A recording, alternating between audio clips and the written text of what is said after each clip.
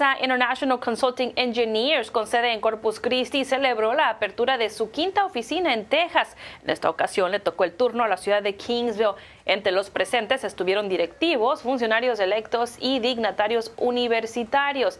International Consulting Engineers abrió sus puertas en 2012 con solo cinco empleados en el centro de Corpus Christi y hoy en día es una empresa de ingeniería multidisciplinaria certificada por 126 empleados que se especializa en ingeniería civil y estructural, diseño arquitectónico, topografía, construcción general y drenaje de aguas pluviales, permisos y recursos hídricos.